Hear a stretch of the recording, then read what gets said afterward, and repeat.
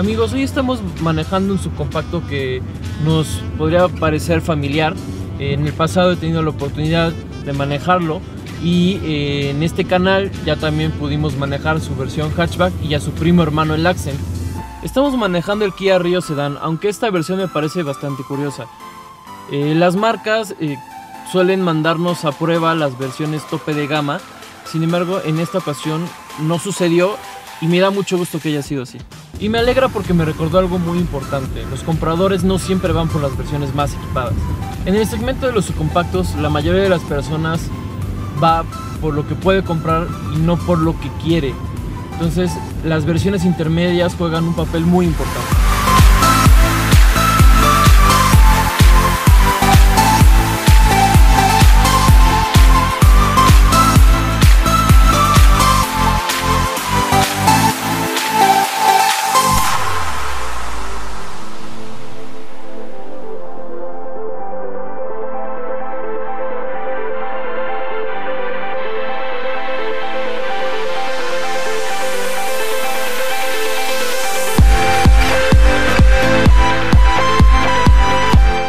Como se los mencioné, puede que este video les suene un poco repetitivo. Incluso eh, probamos eh, autos con características similares y que salieron de la misma planta en Pesquería Nuevo León.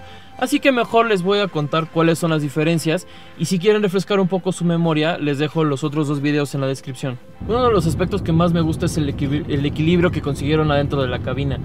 Eh, si bien contamos con el equipamiento que caracteriza muchísimo a la marca Kia, eh, notamos que por ejemplo no tienen eh, haciendo hay asientos de piel, los asientos son en tela y no tenemos quemacocos.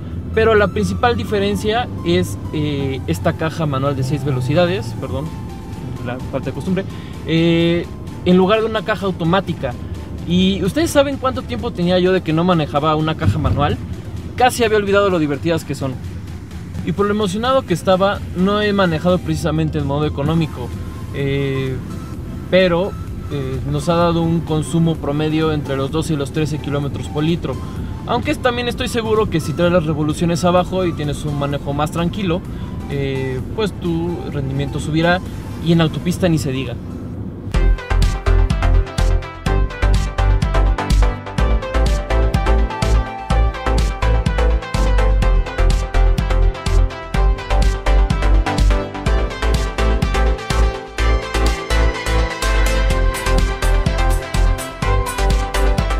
El motor no cambia, sigue siendo el 1.6 litros de 121 caballos y 111 libras-pies de torque, eh, que tanto en el hatchback como en el Accent con la caja automática sentíamos que no nos daba el mayor provecho y tampoco ayudaba tanto a nuestros consumos. Sin embargo, eh, con la caja manual mejoramos el rendimiento del motor en ambos sentidos. Lo que sí necesitamos, y claro que cuenta con ello, son los sistemas de seguridad.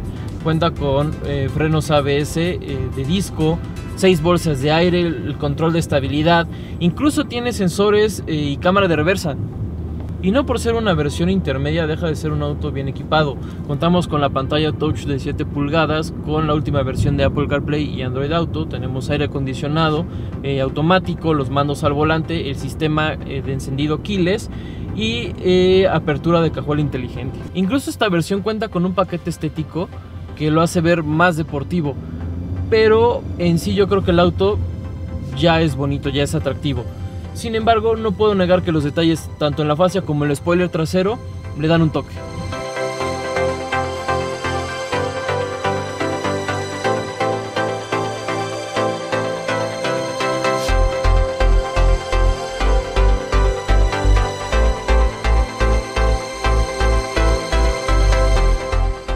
La versión que tenemos a prueba es la EX y tiene un precio de 283.600 pesos, eh, que yo considero es una excelente relación valor-precio.